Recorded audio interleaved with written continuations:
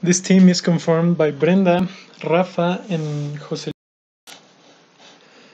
We focused on the American community attitudes towards English Spanish speakers and how these attitudes affect the perception of bilinguals to their heritage language, which in this case is Spanish. So uh, we created two research questions in order to uh, focus this research. So the first one is, what are the attitudes of communities toward bilingual using their heritage language? And if there are such attitudes, then how these influence or affect bilingual English-Spanish thoughts and perceptions. To get results, we followed certain steps such as selecting our participants, creating a questionnaire, analyzing the answers from this questionnaire, and then creating the interview and, and doing it.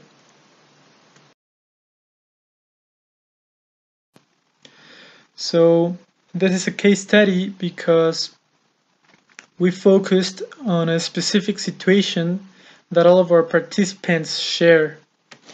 And we compared and contrasted the attitudes of their surroundings, of the communities that surround them, in order to start getting some answers that we would uh, analyze to get similarities and differences on the attitudes depending on each community where each participant lives.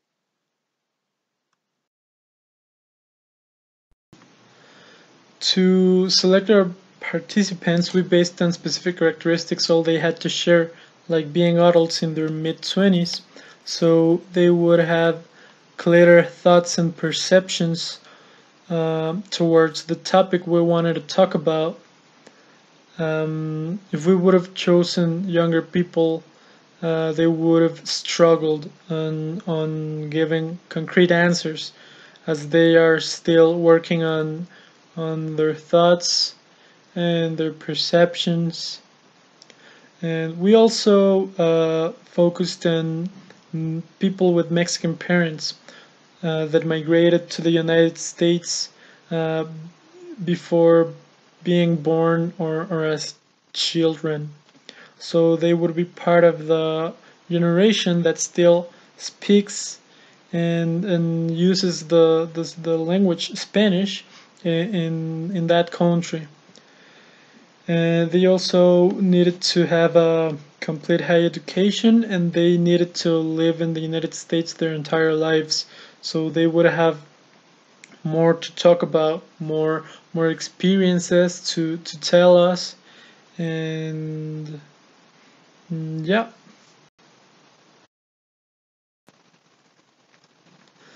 Another thing that we actually didn't want to, to do was to find people in the same place. So we try to find participants as far as possible from, from the other so we could compare the situation that each of them live and and how how this context can can affect them. So we have someone from California, Texas, Illinois, and and different other places. So we could have people uh, as far as possible, and we could compare each situation, each city, and see see how it goes.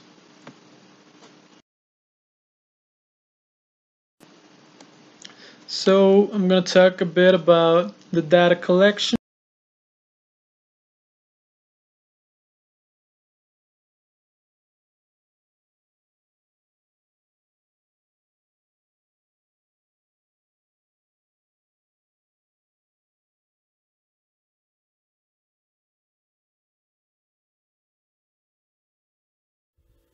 We used a semi-structured and an online synchronous interview to obtain reliable data for our case study. Now let's listen to some of the recordings of these interviews. Cesar from Illinois. Um, you know, growing up, my parents really wanted it to be a part of you know, me growing up. So it was really important for them, especially around family members, around other um, Spanish speakers that didn't speak English. It was really important for them that I would speak Spanish just because it felt not inclusive, you know, because I have a lot of relatives, for example, who don't speak Spanish, especially around family members, so like grandparents and stuff like that can't really hear them. So you kind of lose a generation's worth of connections with them. So they wanted it to be important just so I could communicate with people that couldn't learn English. Anna from California. That I live in a community. Um, I live in Corner Park, and it's mostly um, Caucasian. So whenever I go to a store and I hear someone speak Spanish that's like in the cashier, I get happy and like I start speaking Spanish to them, just because like it gives me like a, like kind of like a feeling of like there that's like same as me, kind of like a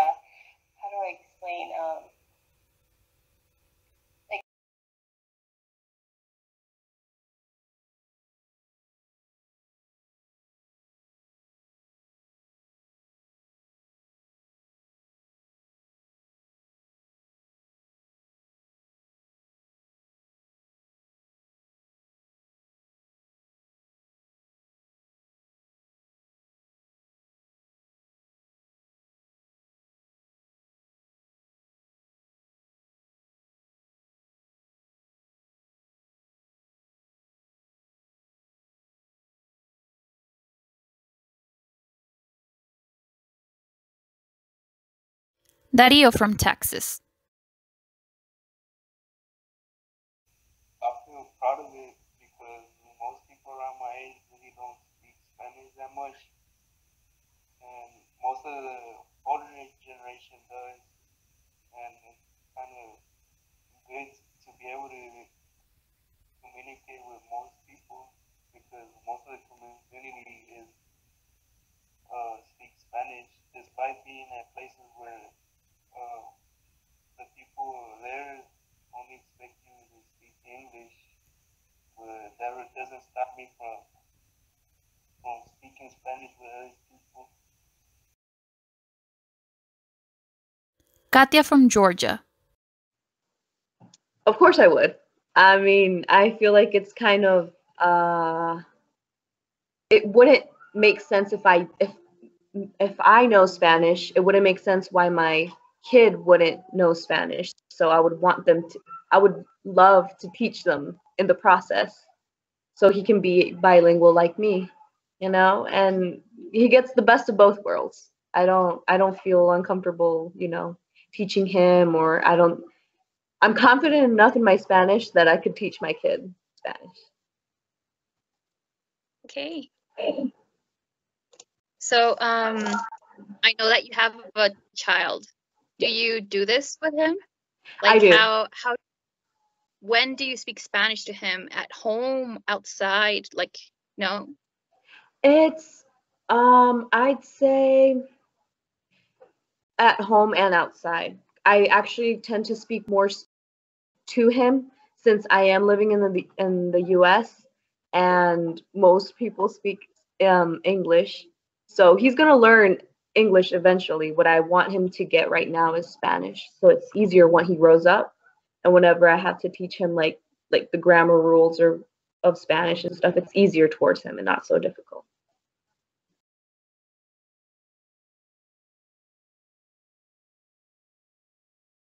We proceeded to transcribing the interviews to analyze and determine patterns in attitudes of each community.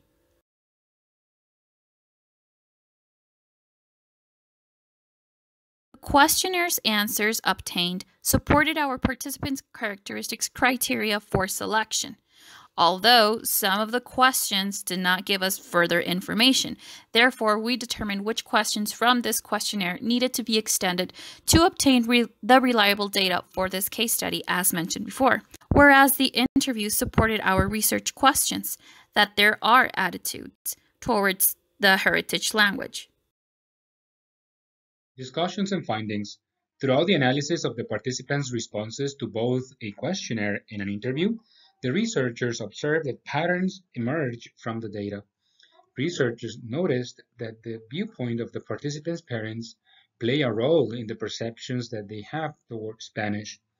In the quest of this research, we also understood that the behavior of monolingual English speakers in colloquial and formal domains influenced the attitudes of Mexican American bilinguals toward Spanish.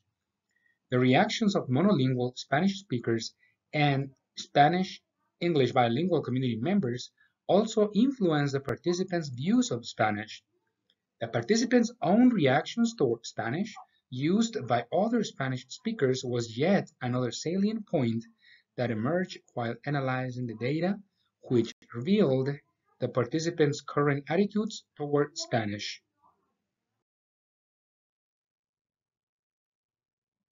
In general, parents' attitudes toward Spanish is positive and influence favorably in the perception that Mexican American bilinguals have toward their heritage language in American communities. Only one of the participants' parents had negative attitudes regarding Spanish as a drawback for professional development. Attitudes of monolingual English speakers. It is noticeable in the participants' responses that monolingual English speakers rarely express negative spoken comments to the use of Spanish. They generally give mean stares instead.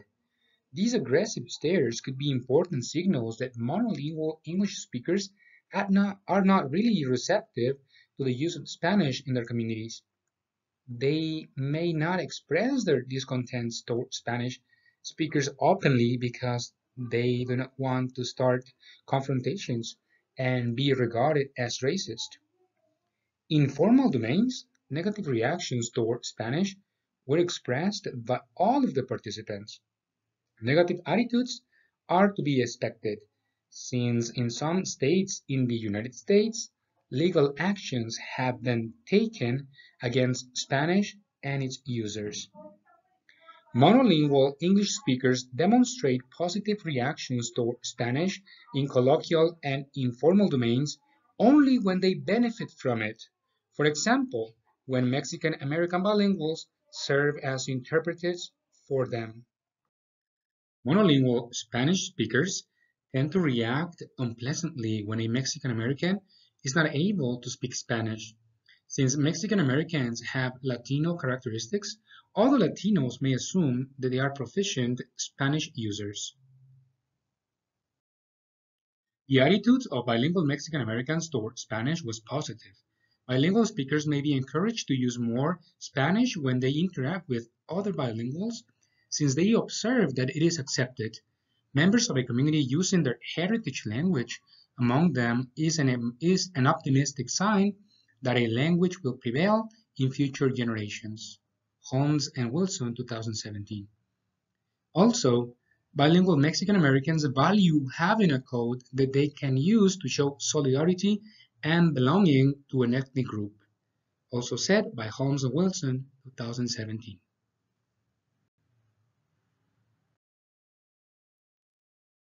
All the participants exhibited positive reactions toward Spanish as their heritage language. Based on the positive comments expressed by all the participants about the use of Spanish by other members of the community, we concluded that supporting Spanish use in American communities is a practice that has gained popularity among Latino communities. Conclusion A solid cultural education on children may help to raise people with a strong mentality and a strong sense of identity. There is more acceptance of the use of Spanish in colloquial domains. However, Spanish speakers still refrain themselves from using Spanish in formal settings, since the attitudes of monolingual English speakers are somewhat negative.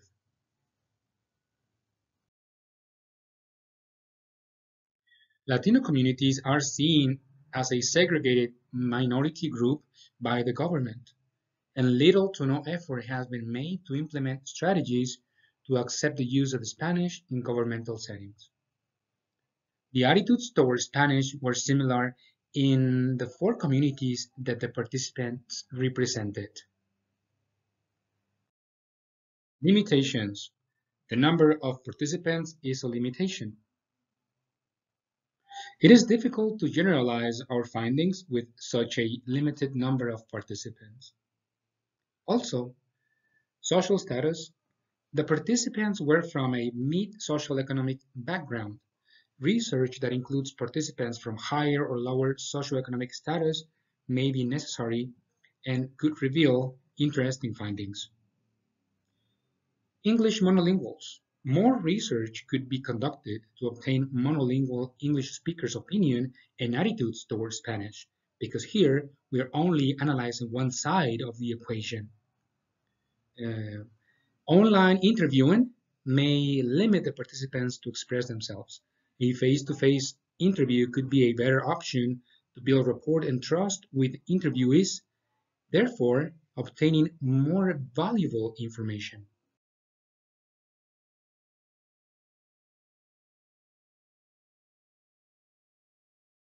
Congratulations, you've made it to the end of this presentation. We want to thank you for your attention.